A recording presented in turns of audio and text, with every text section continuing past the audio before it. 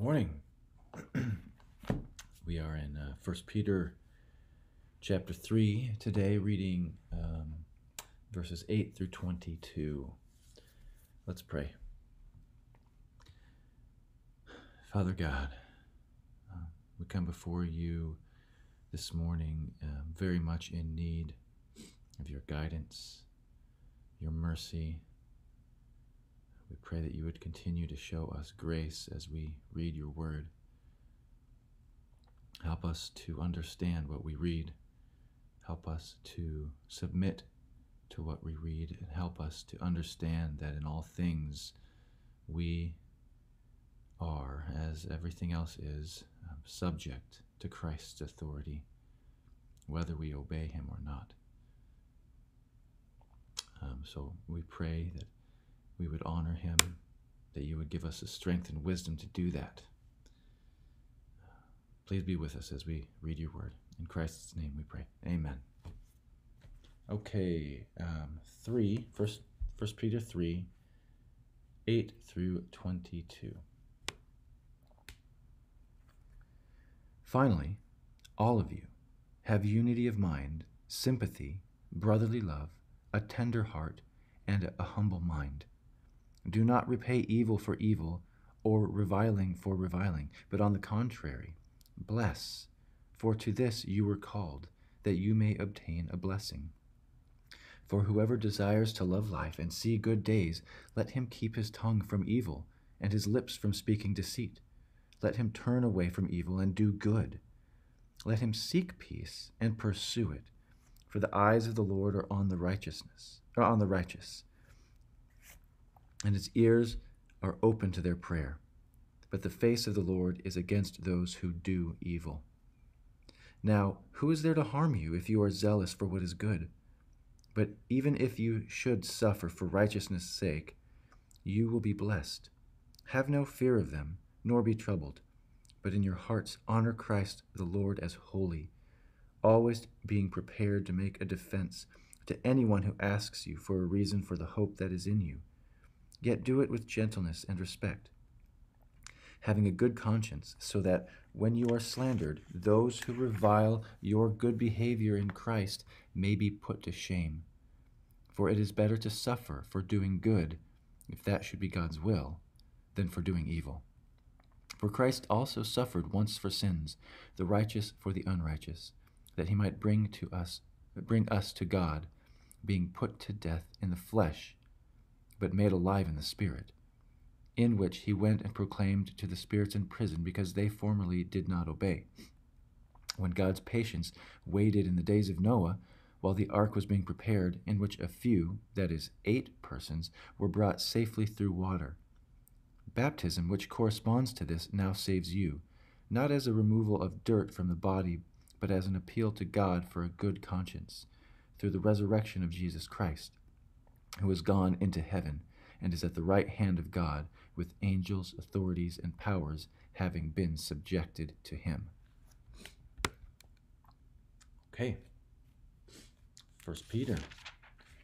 What do we see here? Um, as always, there is a lot in Scripture, and it would be very easy for us to um, go off on uh, possibly inappropriate tangents if we don't start with observation. So, all right, let's observe. He says to have unity of mind, sympathy, brotherly love, tender heart, and humble mind. He says, don't repay evil or revile, but bless so you may be blessed. Uh, keep your tongue from evil, turn from evil, and do good. He says, um, Actually, he quotes um, Psalm uh, 34, I believe, and says, um, The face of the Lord is against those who do evil. He says, If you suffer for righteousness' sake, you will be blessed. Um, be ready to defend your hope. Have a good conscience, so those who revile you, your good behavior in Christ, may be put to shame. He says that Christ also suffered, the righteous Christ, for the unrighteous. he then compares baptism to Noah's ark as an appeal to God for a good conscience. And then he closes this chapter by saying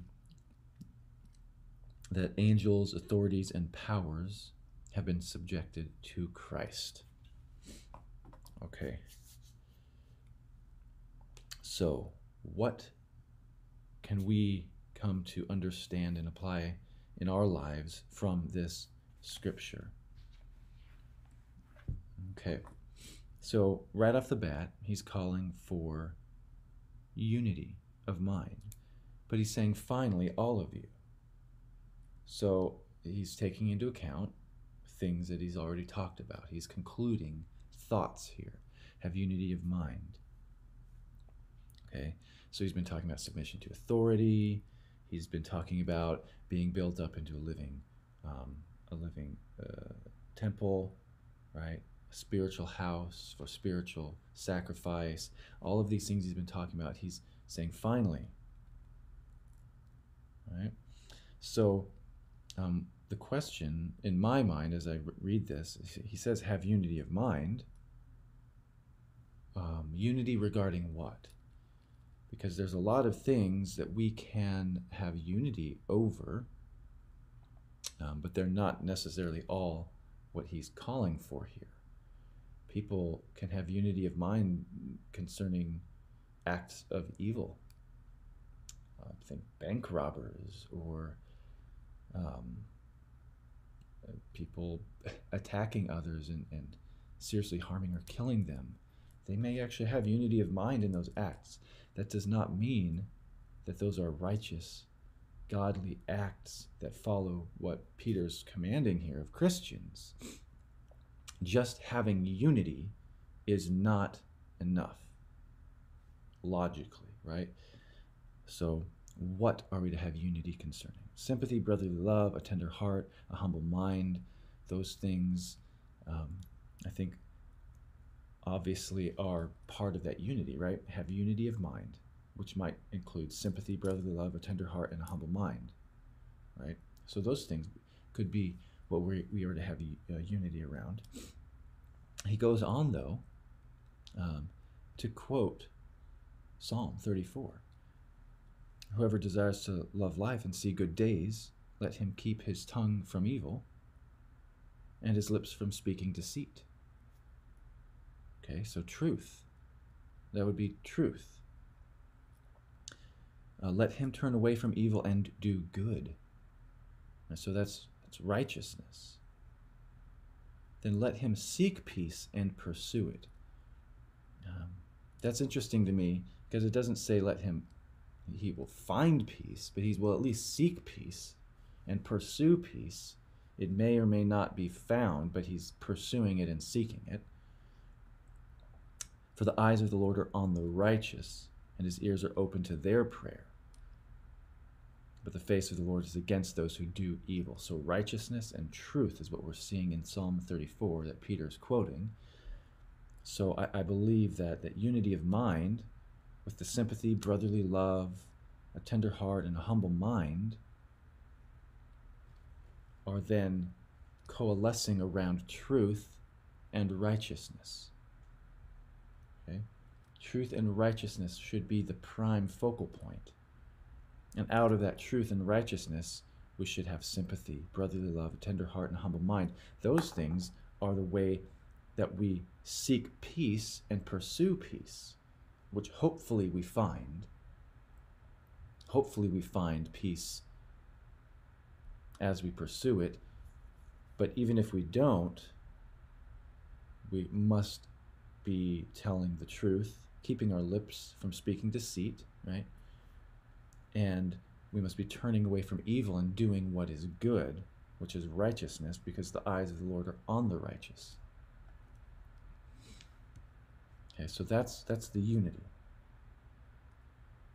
And then and then he moves on to say, so because who's gonna who's gonna harm you if you're zealous for what is good?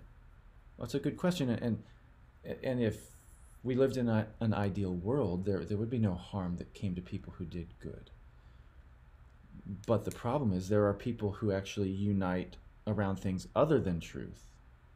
People who unite around lies, uh, deceit, who uh, unite around unrighteousness.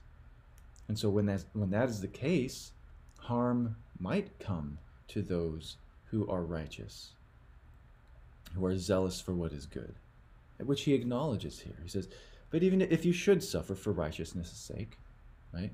So you you can suffer for being righteous, you will be blessed. So there's blessing." Um, he tells tells him to, to um, honor Christ, be ready to give a reason for the hope, right? For the hope that is in you. And what is that hope? What is the hope that is in us? I think that's key here. Because if we're going to suffer for, for righteousness and and basically not benefit on earth potentially for being righteous, what is the hope we have? Why would we want to do that? Why not unify around evil and just live how we want? What is the hope that we have that being righteous and unifying around truth and righteousness will actually do us any good? Well, he answers that as well. He goes on to say that um, having a good conscience, so that when you are slandered, those who revile your good behavior, right, your um, good behavior in Christ, that's key, may be put to shame. So you will be justified. You will be shown to not be at fault. You will not be put to shame. It's better to suffer for doing good than to suffer for doing evil. But, how will we not be put to shame? So we have good behavior in Christ, that's the righteousness that we may be suffering for. But still, how, how is it that we're not put to shame? What is the hope? What is the hope? For Christ. Right? Verse 18 For Christ also suffered once for sins. And then he goes on this really, I mean, kind of pretty cool, but kind of confusing passage at first, where he's kind of comparing baptism to the flood, but then he says baptism saves you. Um, and, and it's an appeal to God for a good conscience. What does that mean? I thought we were, I, I was under the impression that baptism doesn't save. Well, I think what he's talking about here is this concept. If you remember in Matthew, uh, we talked at, at, one point about, um, and also in Genesis, about Christ being the ark, right?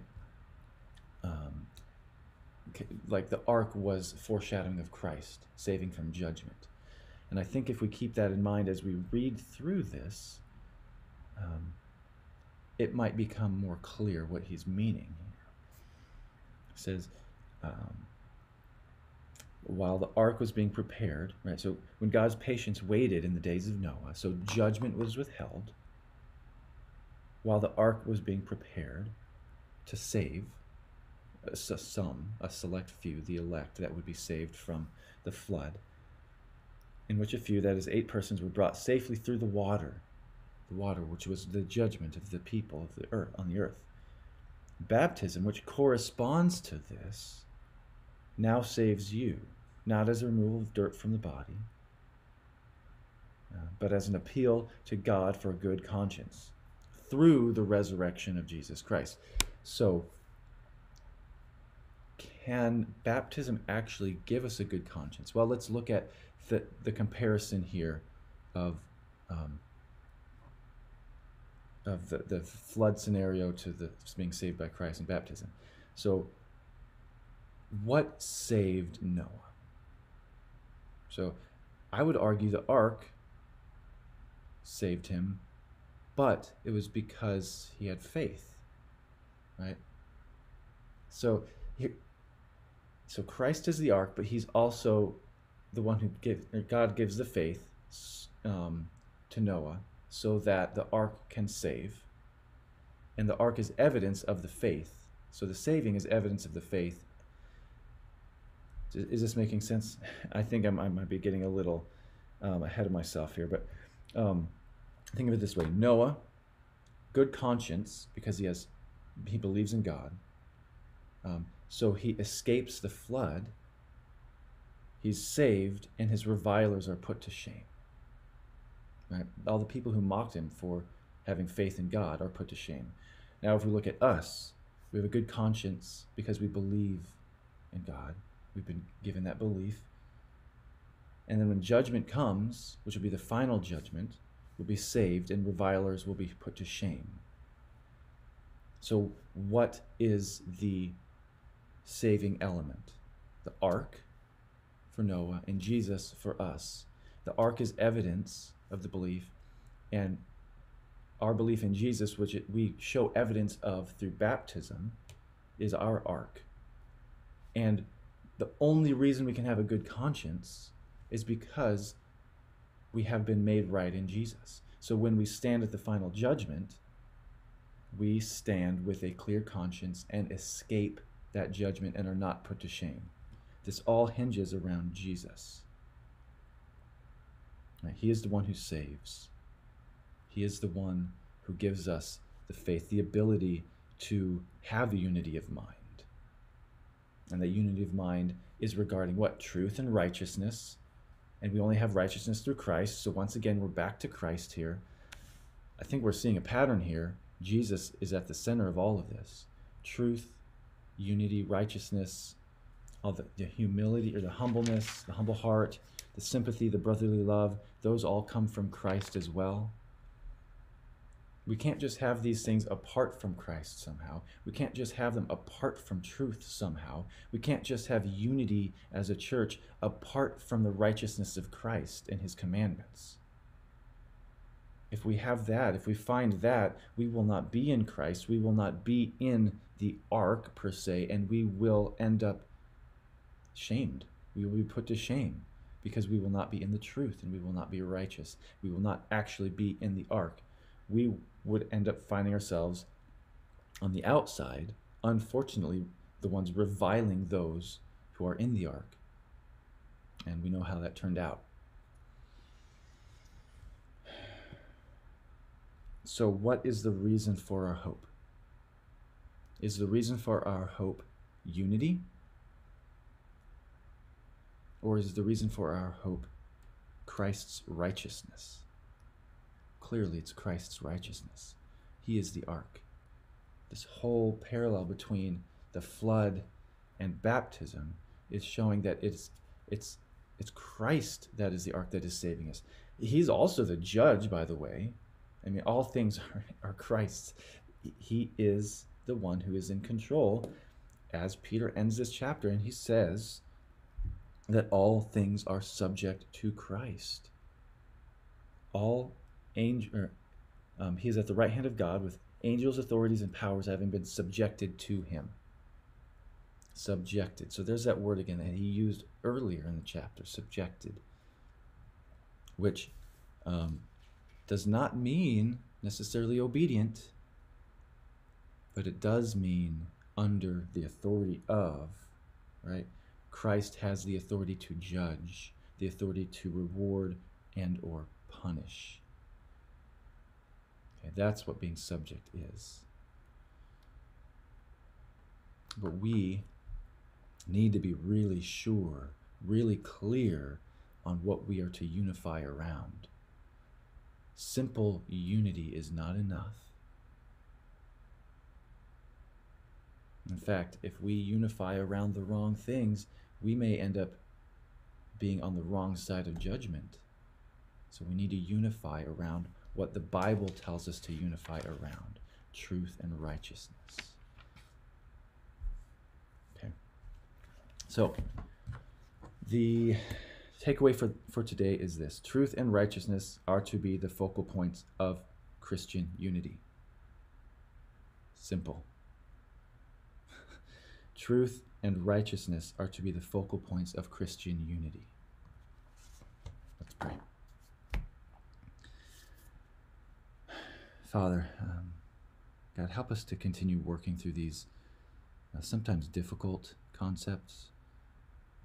Help us to find the things that are clear and simple and straightforward and to grab onto those, like the fact that truth and truth and righteousness should be our unity, but to, to, to take those truths and continue to work out the, the concepts that are harder, like the way that um, the way that we are saved, but also grow into our salvation, the way that we are sanctified, which is a, hard and, and long, arduous process. God, give us wisdom and strength to continue that process and to honor you in that process. As we encounter your word, give us the humility to to be subject to it and not only uh, subject to it but obedient to it god we pray these things for ourselves and for those around us and please give us a heart for those who do not understand what unity is that it is not just oneness of mind